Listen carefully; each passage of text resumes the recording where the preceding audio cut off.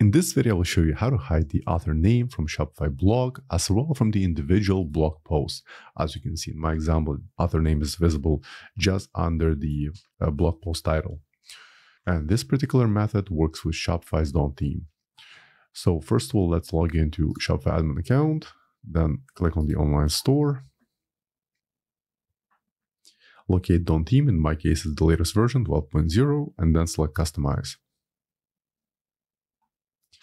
Once the editor loads, at the very top in the dropdown, select blogs, then click on default blog. Then on the left, under template, click on blog posts, and on the right, you have an option to uh, uncheck this box, show author.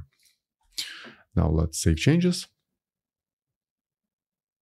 Uh, now let's repeat the same process for the blog posts.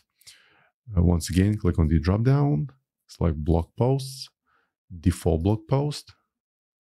Then on the left, click on title. And then once again, just uncheck the show author option and save changes. Now allow a few minutes for the changes to update in the system and then go back to website and let's refresh the blog post. And As you can see, the author name is no longer visible.